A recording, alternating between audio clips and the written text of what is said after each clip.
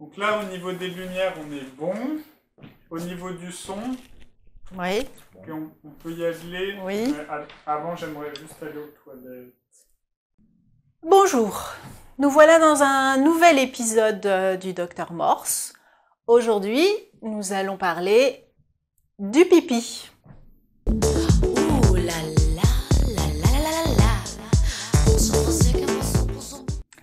Le pipi dans la culotte, le pipi au lit, le pipi quand il pose problème. Alors, quand un enfant fait pipi dans sa culotte ou pipi au lit, on dit qu'il est énurétique. C'est qu'il ne contrôle pas sa miction. Mais c'est quoi exactement la miction La miction, c'est l'action de faire pipi, tout simplement. Alors, habituellement, la maîtrise sphinctérienne est acquise aux alentours de 3 ans. Dire que le système neuromusculaire de l'enfant, l'ensemble de ses nerfs, de ses muscles, lui permet de se retenir et quand c'est nécessaire, et d'uriner quand il l'a décidé. Cette maîtrise s'instaure entre 15 et 24 mois le jour et entre 2 ans et 3 ans la nuit. Il faut que l'enfant soit prêt. Qu'est-ce que ça veut dire Il faut que son corps soit prêt. Le corps de l'enfant n'est pas prêt à n'importe quel moment. C'est comme pour les dents. Les dents peuvent pousser très tôt. Un enfant peut naître avec des dents ou, elles peuvent pousser plus tard. Pour la maturité neuromusculaire nécessaire à la propreté, c'est la même chose. Des enfants vont être propres avant d'autres. Donc deuxième euh, condition pour que euh, cet apprentissage se fasse euh, correctement, il faut qu'il y ait une bonne relation ou une relation suffisamment bonne entre l'enfant et son entourage. Ce qui permet à l'enfant de faire de cet, de cet apprentissage un réel plaisir partagé avec les parents. Dans ces conditions, l'enfant commence à intégrer les règles sociales. Tranquillement. On ne fait pas pipi partout, pas à n'importe quel moment. En tout cas, quand on est enfant. Après, quand on est un fêtard buveur de bière, on oublie. Alors, qu'est-ce que c'est une relation suffisamment bonne? Ça signifie que les parents et les enfants ont ce projet commun, que l'enfant devienne propre, que l'enfant devienne grand, que les, parents sont fiers de leur enfant quand il devient propre, c'est parce qu'il il devient grand, et les enfants sont fiers parce que les parents sont fiers. Ça veut dire aussi que les parents doivent admettre que c'est un processus et que euh, il peut y avoir des accidents et que cet apprentissage se fait pas du jour au lendemain. Alors, on parle d'énurésie primaire quand un enfant n'a jamais été propre et on parle d'énurésie secondaire quand après une période de propreté d'au moins 6 mois, l'enfant se met à faire pipi, le jour ou la nuit. L'énurésie primaire, en général, elle est due à une immaturité neuromusculaire, celle dont on a parlé tout à l'heure. L'énurésie secondaire, elle est le, comme on verra tout à l'heure, elle est le symptôme de quelque chose. Soit un problème organique, soit un problème psychologique. C'est très important dans le cadre d'une énurésie secondaire d'éliminer un problème organique. Donc, devant un enfant qui se met à faire pipi au ou qui se met à uriner la journée, il est très important de commencer par une consultation avec un pédiatre ou un médecin généraliste qui va éliminer un problème organique. Le diagnostic euh, d'énurésie secondaire d'ordre psychologique doit être un diagnostic d'élimination. C'est-à-dire que quand on aura éliminé toutes les autres causes possibles, organiques, on pourra s'interroger sur euh, l'origine psychologique du problème. Si on a élimi- éliminé tous les problèmes euh, organiques et qu'on donc on a on fait cette hypothèse d'un problème psychologique, il faut bien avoir en tête que cette énurésie, c'est un symptôme. Un symptôme, c'est le signe de quelque chose. C'est pas pire. Mais un signe de quoi? Alors, ça peut être le signe de beaucoup de choses. Ça peut être le signe d'une immaturité neuromusculaire, celle dont on a parlé tout à l'heure. Et c'est très important de, parler de ça parce que les enfants sont sommés à l'entrée à l'école maternelle d'être propres.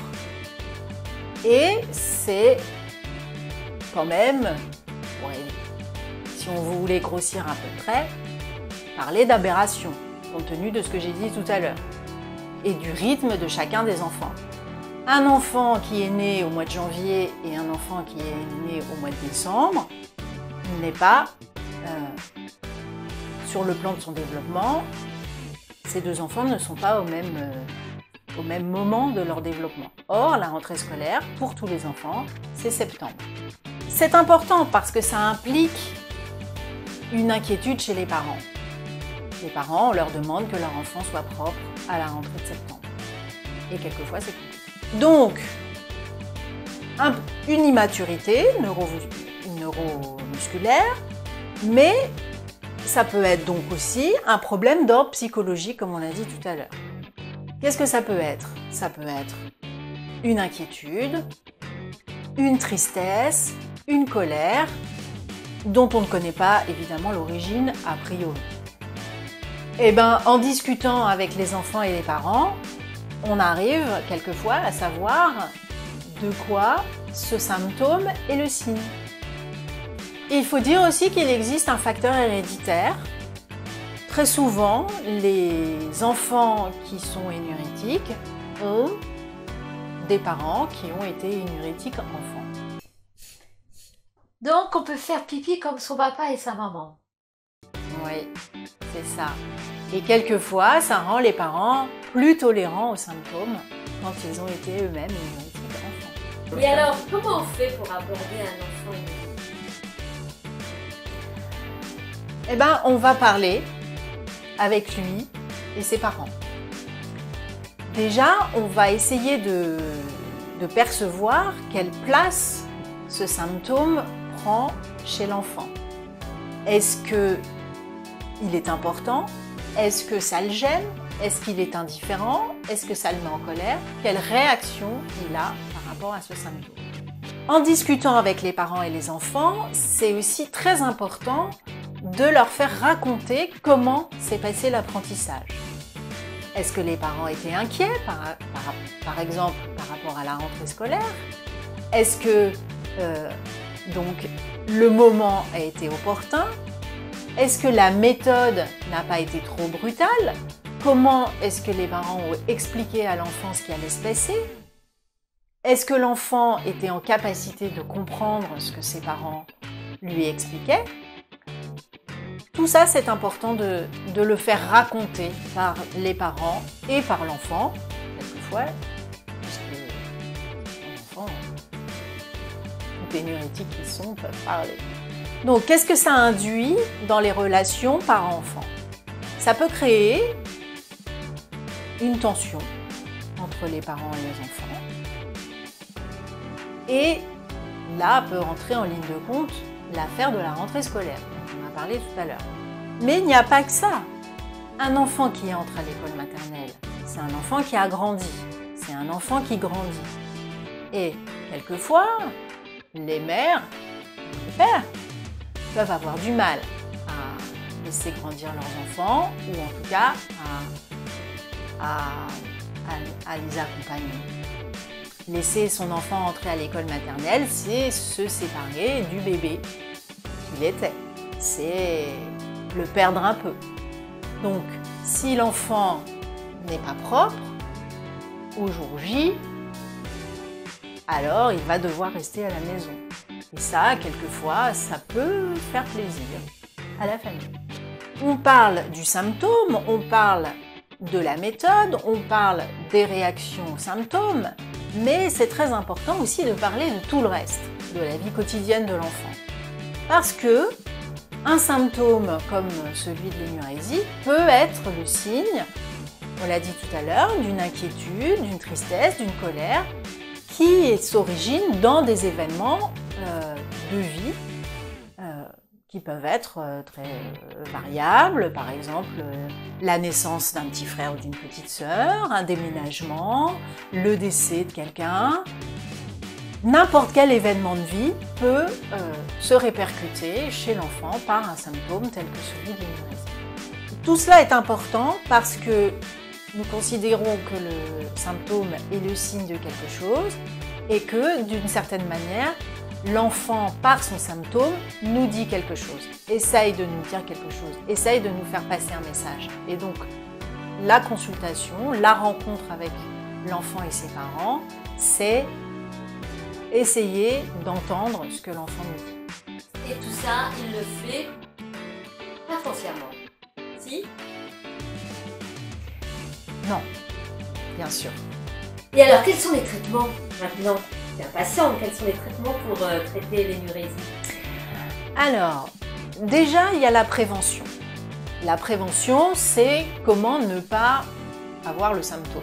On l'a dit tout à l'heure, c'est important de lui expliquer pourquoi on lui demande d'être propre, pourquoi on lui demande de faire pipi dans un pot plutôt que dans une couche. Euh, et plus un enfant va être préparé à ça, plus euh, ça va être facile. Si toutes les conditions sont remplies, il n'y a aucune raison pour que l'enfant n'acquiert pas la propreté. Parce que euh, un enfant est toujours content de progresser. Et le statut de grand est toujours recherché par les enfants qui vont bien. Et les traitements alors? Alors, le premier traitement, c'est la discussion dont on a parlé tout à l'heure. C'est en discutant avec la famille et avec l'enfant, essayer de chercher de quoi, encore une fois, ce symptôme est le signe. Ce n'est pas forcément dans une consultation avec un pédopsychiatre ou un psychologue que ça peut se faire ça. Ça peut se faire avec une grand-mère, ça peut se faire bien sûr avec un professionnel, mais aussi avec n'importe quelle personne qui va s'intéresser à la problématique.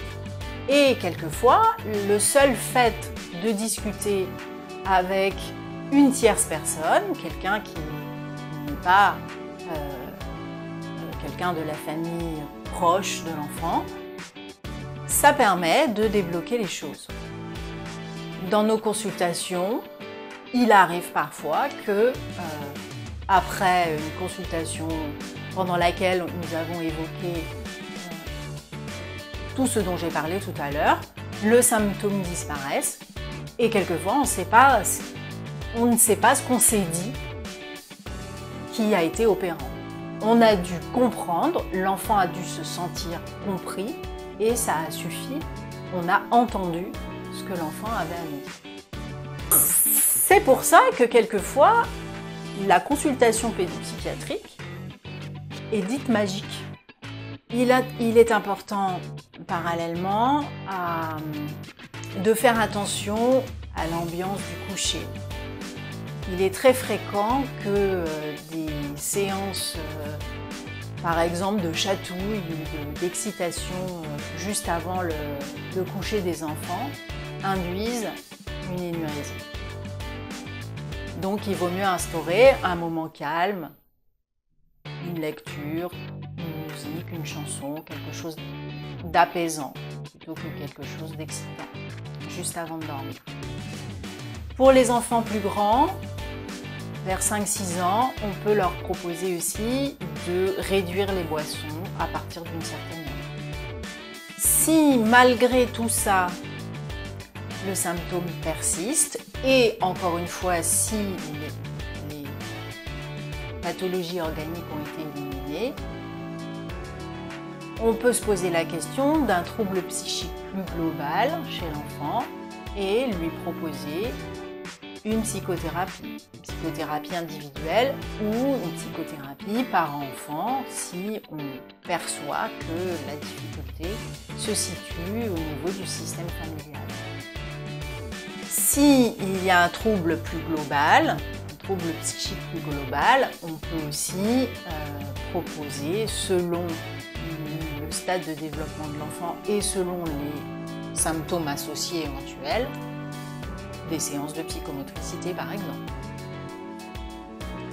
Il existe des traitements médicamenteux qui sont pas toujours efficaces, mais qui surtout laissent en suspens la question de l'origine du symptôme. Bon, j'ai essayé de faire un peu le tour de la question. S'il reste des zones d'ombre, si vous avez des commentaires à faire, n'hésitez pas. Et surtout, osez vos questions.